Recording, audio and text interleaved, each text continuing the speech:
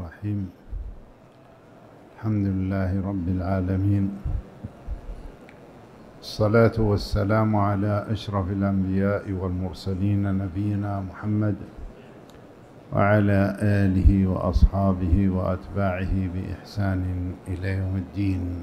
أما بعد هذا هو اللقاء الرابع والأخير في هذه الدورة عن فقه الصيام.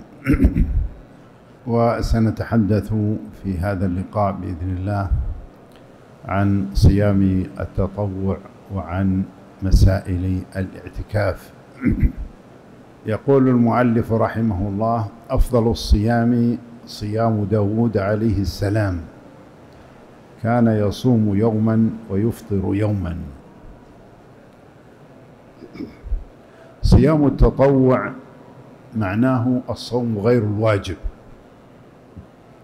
الذي يؤديه الإنسان رغبة في الخير من دون إلزام. وبدأ المؤلف رحمه الله بذكر أفضل أنواع هذا الصوم وهو صيام داود. داود عليه السلام كان يصوم يوما ويفطر يوما. وقد جاء في حديث عبد الله بن عمرو رضي الله تعالى عنهما أن النبي صلى الله عليه وسلم لاحظ عليه ضعفا في صحته فأنكر عليه فقال إنه منذ كذا وهو صائم أي يصوم كل يوم. فقال له النبي صلى الله عليه وسلم إنما كان يكفيك أن تصوم من الشهر ثلاثة أيام لأن الحسنة بعشر أمثالها. قال أطيق أكثر من ذلك. فأشار إلى صيام الاثنين والخميس من كل أسبوع. فقال أطيق أكثر من ذلك. قال صم يوما وأفطر يومين. قال أطيق أكثر من ذلك. قال صم يوما وأفطر يوما. قال أطيق أكثر من ذلك. قال عليه الصلاة والسلام لا أكثر من ذلك. فهذا الحديث يبين وقال عليه الصلاة والسلام اصم يوما وأفطر يوما فذلك صيام داود عليه السلام وهو أفضل الصيام. وفي لفظ لا أفضل من ذلك. فأفضل الصوم أن الإنسان يصوم يوما ويفطر يوما. وصيام التطوع التطوع يحصل به الإنسان عن كل يوم أن يبعد الله تعالى وجهه عن النار. سبعين خريفا. كما قال عليه الصلاة والسلام من صام يوما في سبيل الله بعد الله وجهه عن النار سبعين خريفا. ثم قال المؤلف رحمه الله وأفضل الصيام بعد رمضان شهر الله المحرم. شهر الله المحرم هو الشهر الأول من السنة وهذا الشهر يشرع صيامه كله كل الشهر بمعنى يصوم الشهر من أوله إلى آخره. إذا فعل ذلك فإنه حصل على أفضل صوم بعد رمضان.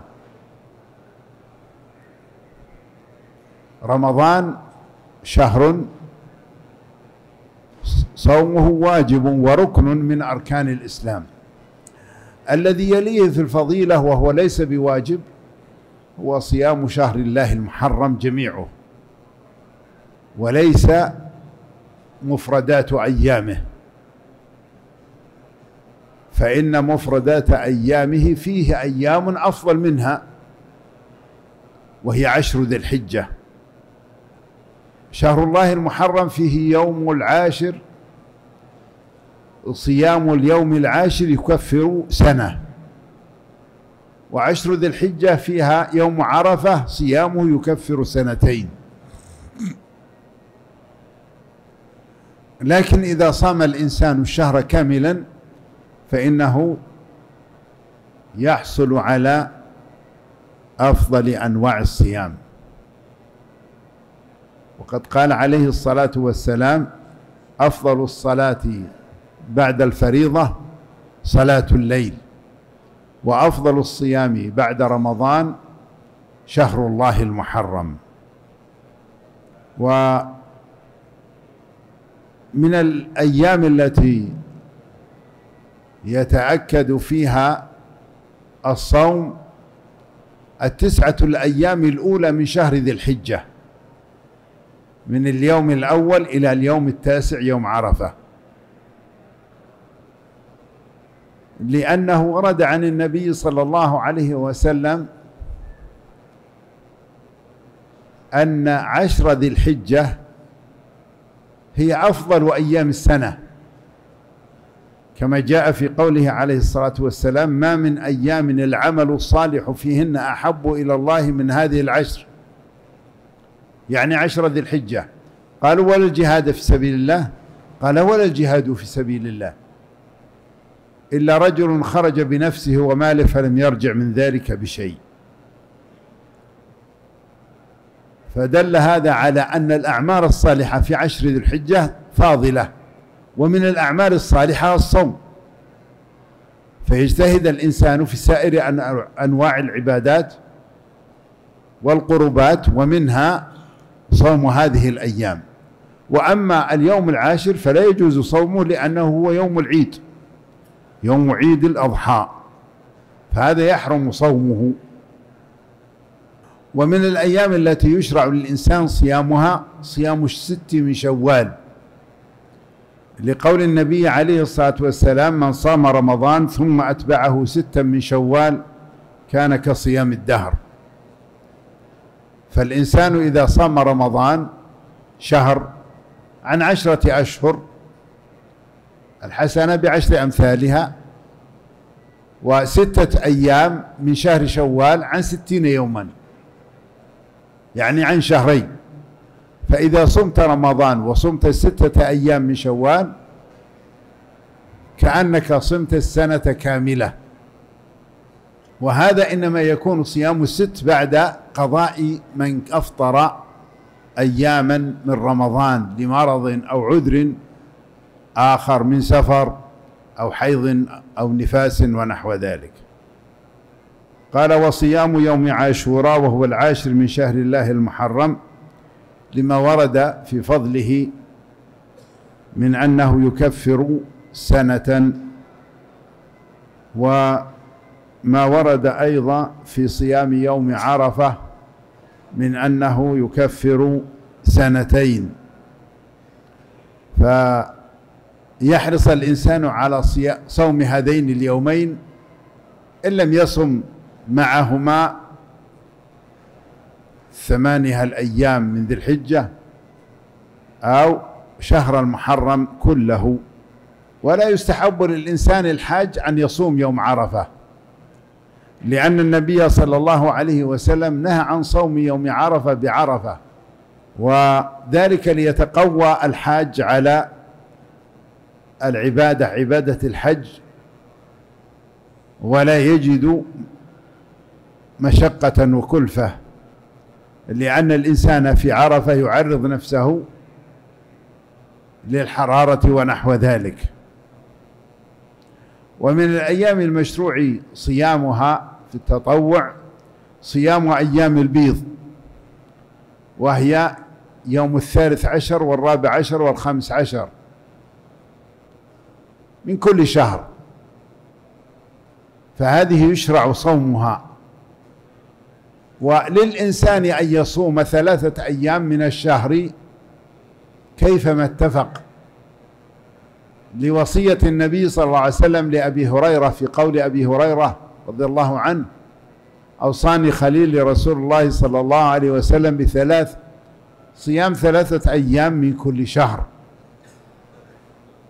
وجاء بها مطلقة.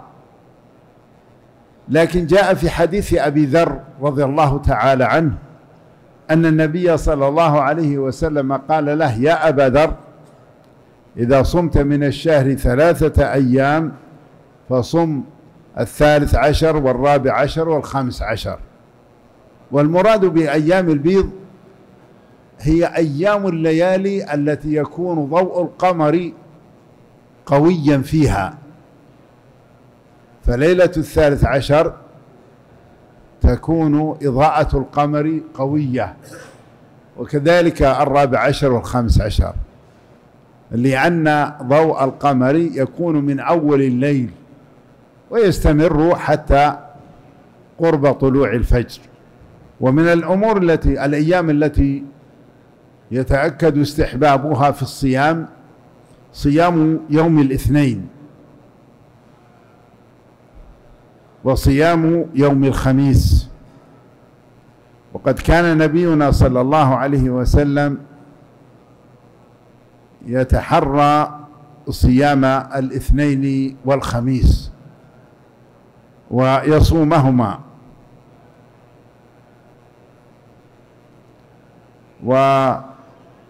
ويقول إنهما يومان تعرض فيهما الأعمال على الله فأحب أن يعرض عملي وأنا صائم. ومن الأيام التي يشرع صيامها شهر شعبان. فقد كان نبينا صلى الله عليه وسلم يكثر من الصيام فيه أكثر من غيره.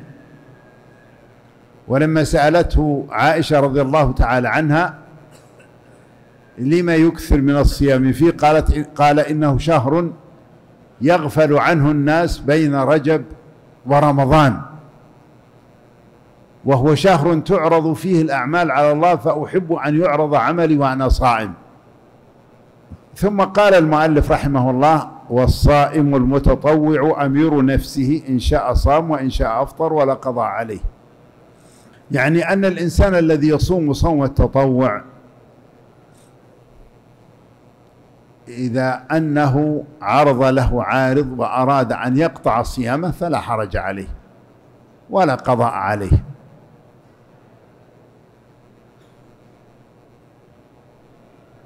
وقد جاء النبي صلى الله عليه وسلم إلى عائشة وكان صائما.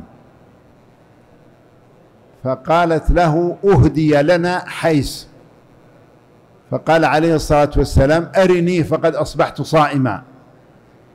فوضعته أمامه فأكل منه. فدل هذا على جواز قطع صوم التطوع. ولا حرج على الإنسان فيه. كما أن صيام التطوع لا يلزم تبييته من الليل. بخلاف بخلاف الصوم الواجب.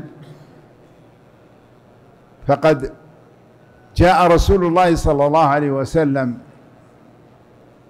إلى بيته وطلب طعاما فأخبروه بأنه لا يوجد شيء يؤكل.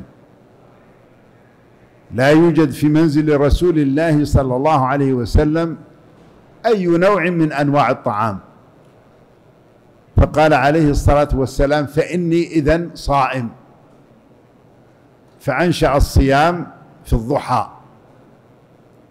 وهذا مشروط بأنه لم يتعاطى شيئا من المفطرات من طلوع الفجر. أما لو كان قد تعاطى شيئا من المفطرات فلا يصح صومه. يقول المؤلف وكذا سائر التطوع إلا الحج والعمرة فيجب إتمامها وقضاء ما فسد منها. يقول إن الأعمال التطوع من صلاة أو وضوء أو طواف يجوز قطعها إذا كان نفلا وليس فرضا إلا الحج.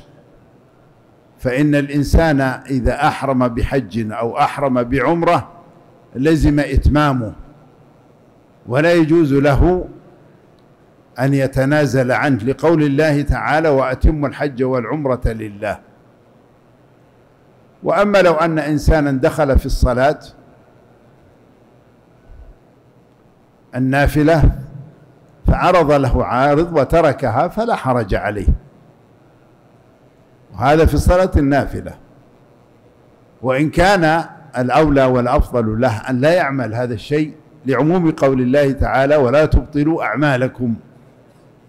ثم ذكر المؤلف رحمه الله أن الحج والعمرة لا بد من إتمامها ولو عرض للإنسان عارض من مفسد للنسك فلا بد أن يمضي فيه. فلو أن إنسانا أحرم بالحج وقبل التحلل الأول جامع زوجته فإنه يفسد نسكه. لكن يلزمه أن يمضي فيه ويكمله وعليه قضاؤه من العام القادم وعليه بدنه. وكذلك لو أن إنسانا أحرم بعمرة وقبل الطواف جامع زوجته فإنها تفسد عمرته وعليه أن يتمها عليه أن يطوف ويسعى ويقصر أو يحلق ثم عليه أن يرجع ويأتي بعمرة أخرى يحرم بها من الميقات الذي أحرم منه أولا وعليه ذبح شاة. ثم ذكر المؤلف رحمه الله الأيام التي لا يجوز صيامها. فقال ونهى رسول الله صلى الله عليه وسلم عن صوم يومين يوم الفطر ويوم الأضحى. فالنبي عليه الصلاة والسلام نهى عن صوم هذين اليومين لكونهما أيام عيد المسلمين فصيامهما محرم. ولو أن الناس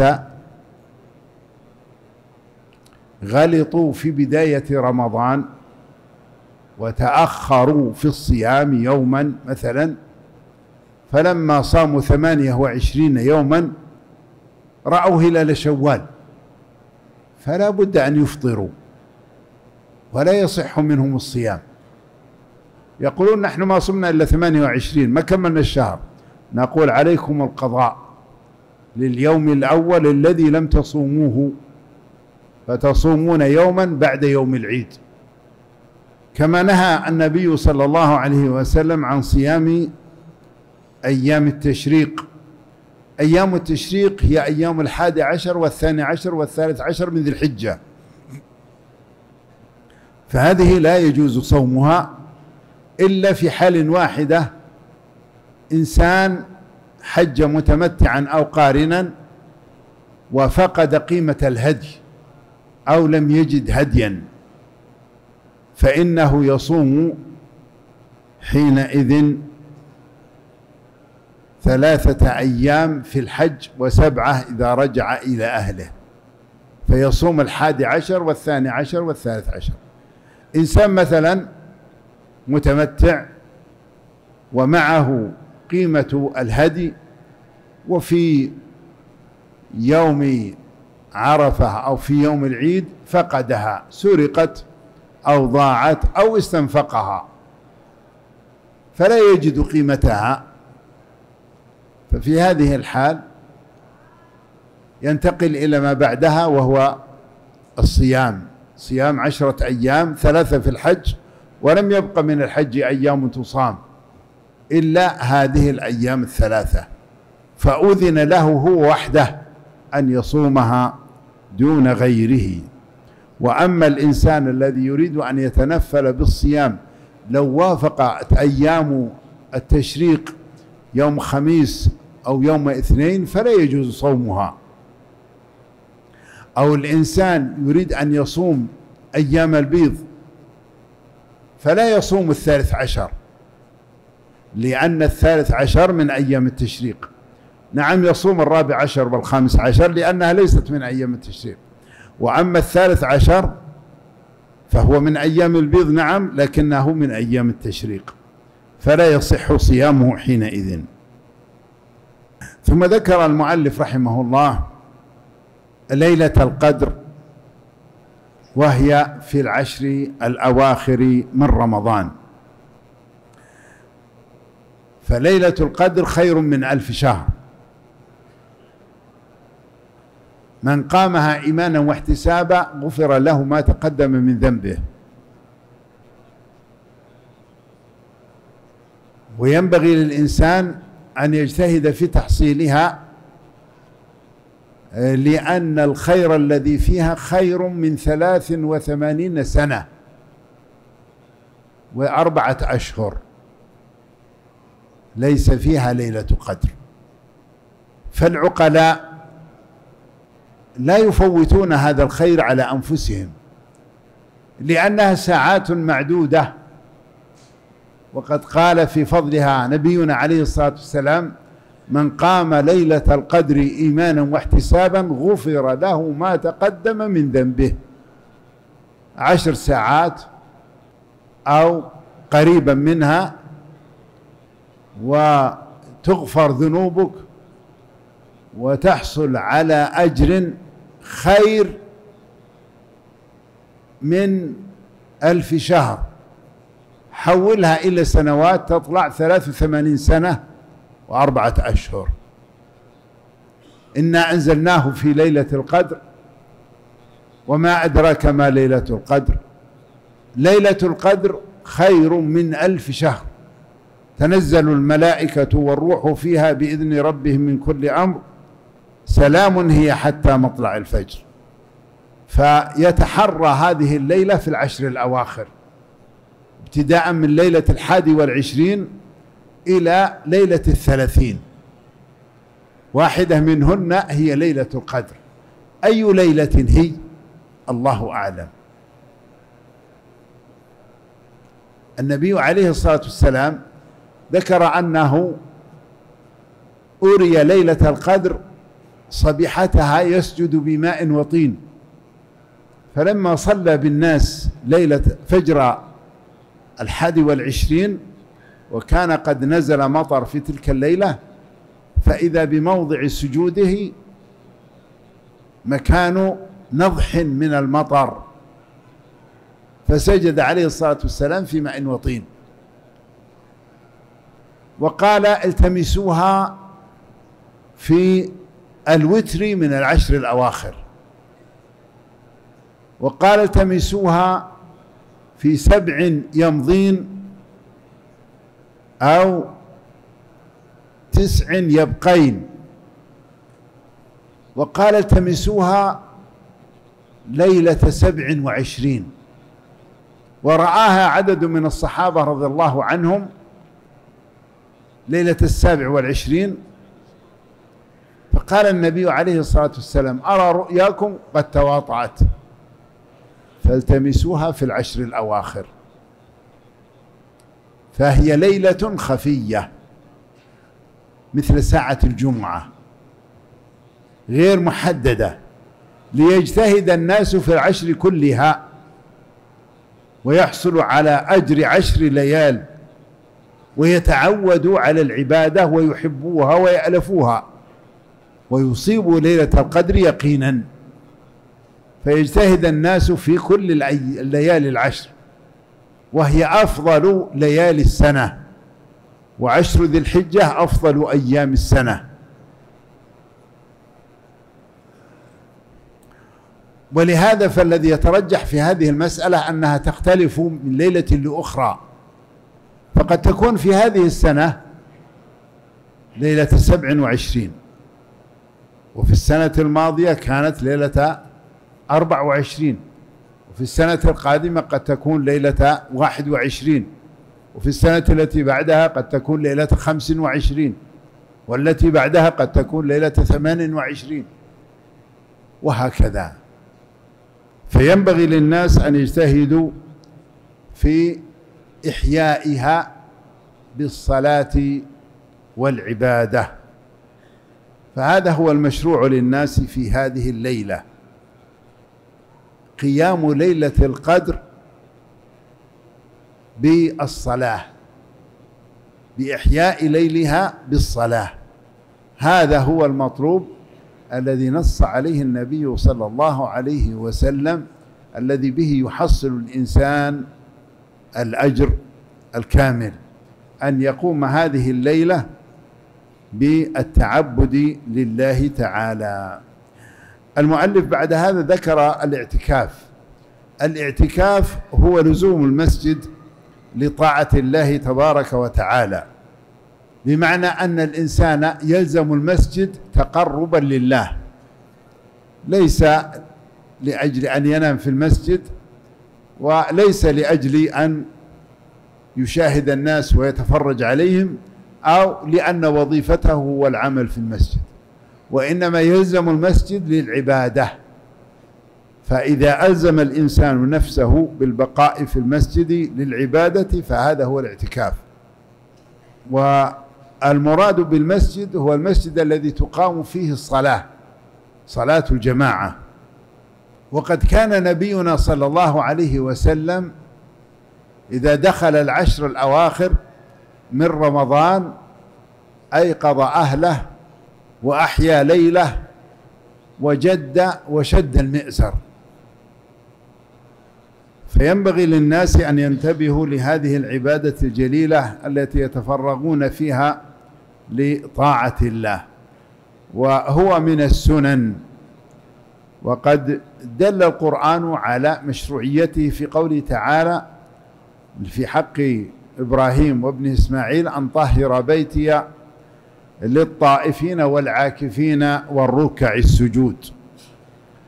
فذكر من يطهر له هذا المسجد وهو وهم صنف من الناس يعتكفون في المسجد. ولا يجب إلا بالنذر إذا نذر الإنسان فإن هذا نذر طاعة فإنه يطيع الله تعالى ويفي بنذره. ويصح من الرجل ومن المرأة.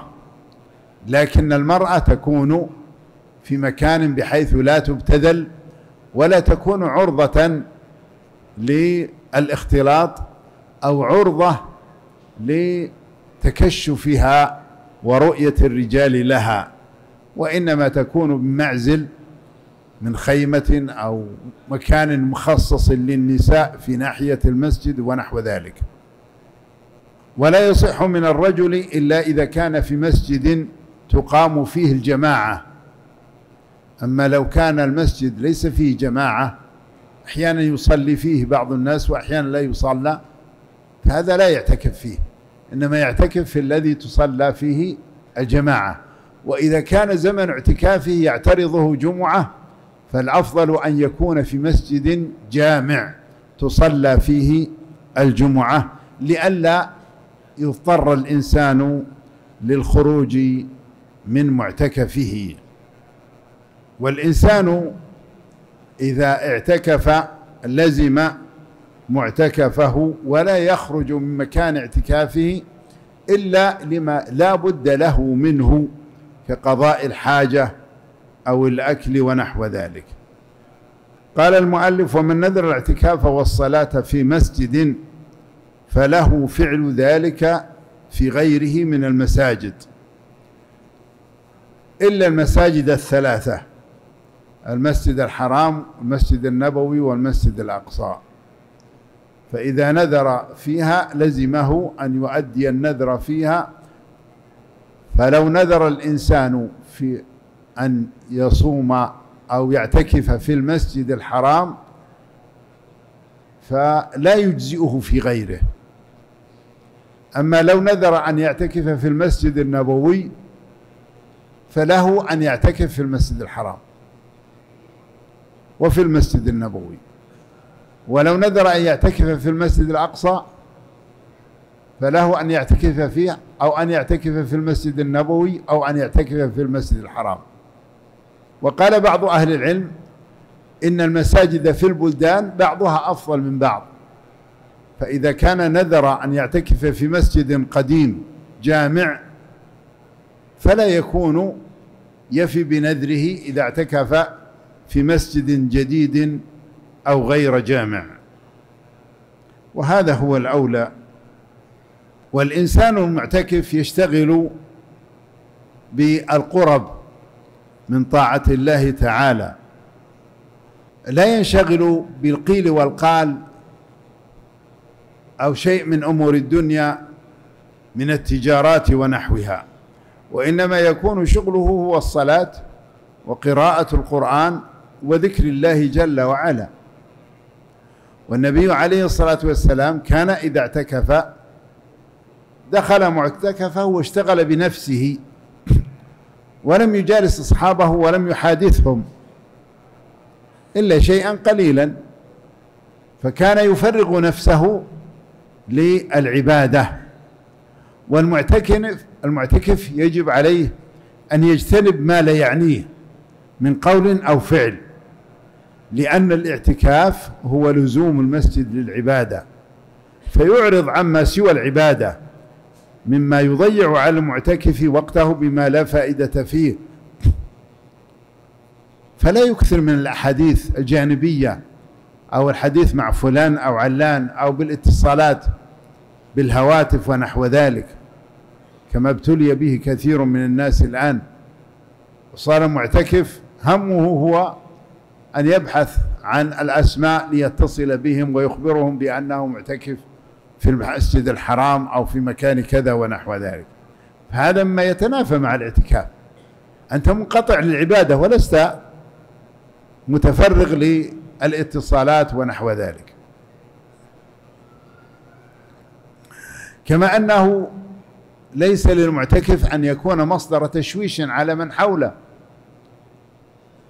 فيؤذي من حوله من من يتعبد لله بكثرة أصواته أو بتشويشه برفع صوت ونحو ذلك. ولا يخرج من المسجد إلا لما لا بد له منه لما روى البخاري ومسلم عن عائشة رضي الله عنها قالت كان رسول الله صلى الله عليه وسلم إذا اعتكف يدني إلي رأسه فأرجله وكان لا يدخل البيت إلا لحاجة إذا كان معتكفا. فالرسول عليه الصلاة والسلام إذا احتاج لغسل رأسه أو دهنه أدخله مع الطاق على حجرة عائشة وهو في المسجد. فتسرحه وتدهنه وترجله وهو باق في المسجد. ولا يأتي للبيت إلا لأمر ضروري كقضاء حاجة ونحو ذلك. ولو أن الإنسان معترك عرض له أمر عارض جاز له أن يخرج. كما حصل لرسول الله صلى الله عليه وسلم لما أن صفية رضي الله عنها زارته خرج معها يوصلها وكان ذلك ليلا. وليس له أن يستمتع بشيء من شهوات النساء. فلا يستمتع بزوجته بالتلذذ بالنظر أو بلمس أو قبلة أو نحو ذلك. وقد قال الله تعالى ولا تباشرهن وأنتم عاكفون في المساجد. وإذا كان الإنسان المعتكف يعرف أن له قريبا مريضا فله أن يشترط عند الاعتكاف أن يزوره أو إن مات أن يشيع جنازته. فإن شرطه هذا معتبر. عائشة رضي الله تعالى عنها تقول إن كنت لأدخل البيت للحاجة وهي معتكفة والمريض فيه فما أسأل عنه إلا وأنا مارة. فلو كان هناك مريض عندك في البيت وذهبت للبيت لقضاء حاجة ونحو ذلك فلا تجلس عند المريض وتتحدث معه وإنما وأنت مار به تسأل عنه وتطمئن على صحته ولا تجلس. فهذا هو المعنى الصحيح للاعتكاف الذي ينبغي للإنسان أن يحرص عليه ولا يخل به. بخلاف ما يفهمه بعض الشباب اليوم وبعض الناس الذين يفهمون أن أن الاعتكاف هو فرصة للاسترخاء والنوم والتفرغ للأحاديث والكلام الذي لا قيمة له مع من يكونون بجواره من المعتكفين. فهذا ليس اعتكاف وإنما هذا تضييع للاعتكاف. فيجب أن ينتبه الناس لهذا ويحرصوا على صيانة صيامهم واعتكافهم. وهل يشترط في الاعتكاف أن يكون الإنسان صائما؟ الذي عليه الكثير من أهل العلم أنه لا يشترط بل يجوز للإنسان أن يعتكف وهو مفطر. وذلك لما ورد عن عمر رضي الله تعالى عنه أنه سأل النبي صلى الله عليه وسلم وقال إني نذرت أن أعتكف يوما في مسجد الحرام في الجاهلية. أعتكف ليلة نذرت أن أعتكف ليلة في المسجد الحرام في الجاهلية. فقال له النبي صلى الله عليه وسلم أوف بنذرك. ومعلوم أن الليل ليس فيه صيام. وهل مدة الاعتكاف محددة؟ الأفضل أن الإنسان إذا أراد أن يعتكف يعتكف العشر الأواخر من رمضان. فهذا هو أكمل أنواع الاعتكاف وهو الذي كان يحرص عليه رسول الله صلى الله عليه وسلم. والإنسان الذي يريد أن يعتكف العشر الأواخر يدخل معتكفه يوم عشرين قبل غروب الشمس ليلة الحادي والعشرين بحيث أن ليلة الحادي والعشرين تكون كلها وهو معتكف لأنها داخلة في العشر الأواخر. فقبل أن تغرب الشمس من يوم العشرين يدخل معتكفه. ويبقى فيه إلى أن يحين وقت صلاة العيد فيخرج لصلاة العيد من معتكفه. ويجوز له الخروج من معتكفه بعد غروب الشمس من ليلة العيد. لكن الأفضل أن يؤخر خروجه من الاعتكاف إلى ما قبل صلاة العيد فيكون خروجه لصلاة العيد ليصلي العيد بثياب اعتكافه. لكن لو خرج ليلة العيد بعد غروب الشمس فلا حرج. وقال بعض أهل العلم إن أقل مدة للاعتكاف هي ليلة أو يوم. وقال بعضهم يوم وليلة. وقال بعضهم يكفي فيها ولو ساعة. أقل ما يصدق عليه اعتكاف في اللغة فإنه يصح والأمر فيه سعة لكن ينبغي للإنسان أن يجتهد في أن يصون اعتكافه بحيث لا يقع في شيء من الخلل والخطأ وتضييع الفرصة. نسأل الله جل وعلا أن يرزقنا الفقه في الدين وأن يصلح لنا ديننا ودنيانا وأخرانا. وأن يثبتنا بالقول الثابت في الحياة الدنيا وفي الآخرة وأن يغفر لنا ولوالدينا وذرياتنا وأقاربنا والمؤمنين وصلى الله وسلم وبارك على عبده ورسوله نبينا محمد وعلى آله وصحبه.